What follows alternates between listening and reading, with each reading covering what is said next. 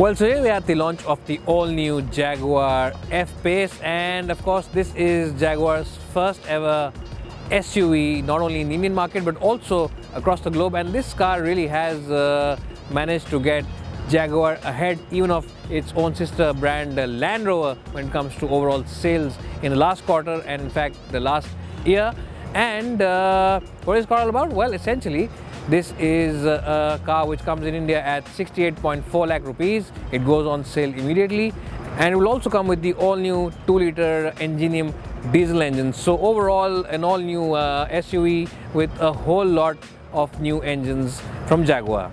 Well now we haven't really driven this car, we will drive it uh, sometime soon. But that said, uh, the launch of this car was phenomenal. The company had uh, the singer Mahadevan over here, which uh, is something great. And he performed uh, three songs with his crew, which are phenomenal. And they also had Narain Karthikeyan at the launch.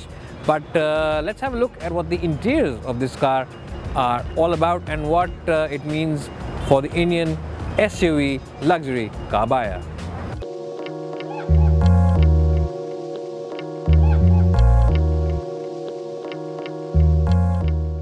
Well, I'm inside the new F-Pace and as you can see outside there's a lot of uh, bevy of activity happening because this of course is the India launch.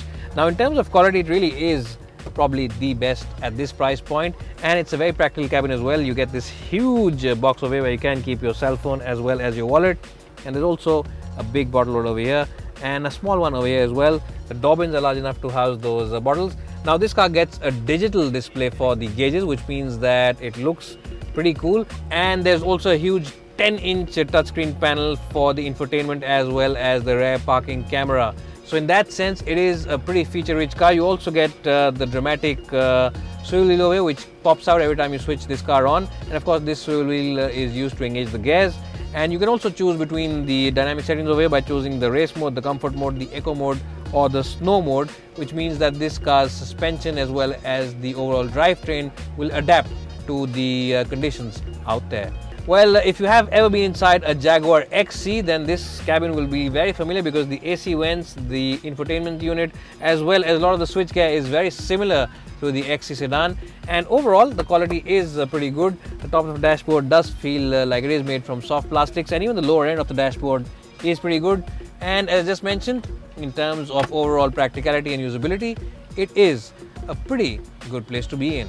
Now let's check out if the back seat is as good as the front ones.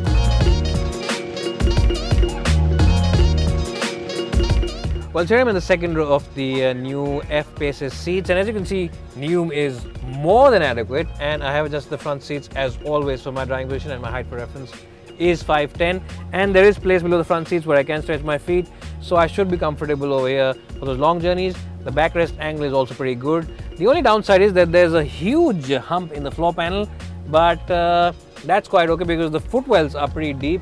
So whoever is sitting here in the middle has plenty of place to stretch his feet at. And the other good point about the seats of course is the fact that uh, the windows are pretty big.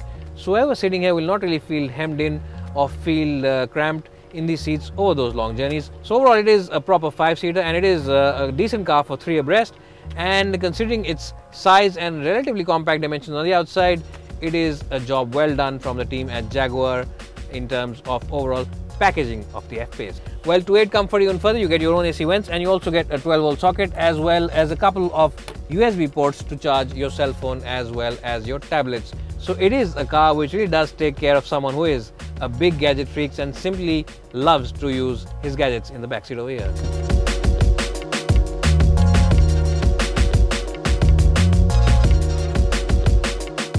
Well, so as you can see, the boot on this car is uh, pretty massive and it is a very well-shaped boot. The aperture is pretty big and there's no loading sill. The only issue is that it is rather high from the ground up, which means that you will have to put your back into it.